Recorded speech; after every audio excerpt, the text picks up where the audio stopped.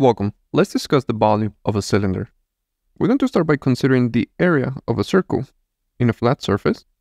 And now we're going to remember that the area of a circle is equivalent to pi r squared. And now we can think about a cylinder as a figure when we're stacking circles on top of each other. If we consider a certain height, then we can say that the volume of this blue cylinder it is equivalent to the initial base, which was a circle, times how many circles we stacked up, in this case, the height. So now we have developed a formula which we can use to find the volume of a cylinder. It is the area of the base times the height. And this works for any dimensions. If we were to continue stacking more circles on top of each other, notice that the area of the base does not change. The only thing that changes, it is the height that we need to consider.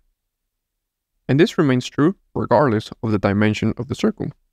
If we consider a smaller circle on the base, all we're doing, we're just stacking smaller circles. So it is still the area of the base which is the area of a circle, times the height that we need to consider.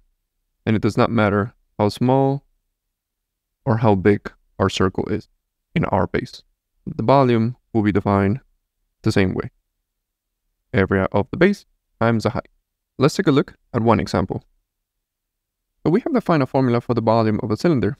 It is the area of the circle in the base, pi r squared, times the height. But within the cylinder, we are given the height. It is equivalent to 10.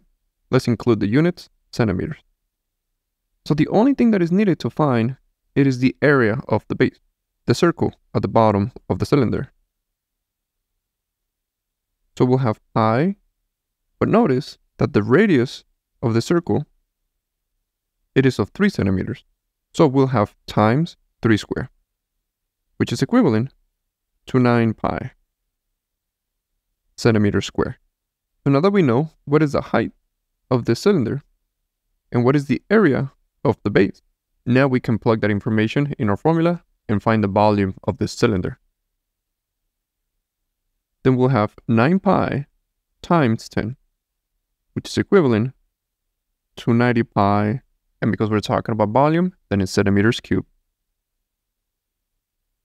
If we want to express this answer in decimal, then let's use our graphing calculator to approximate this value, 90 times pi. So we can say that approximately the volume of this cylinder is of 282.74 centimeters cubed.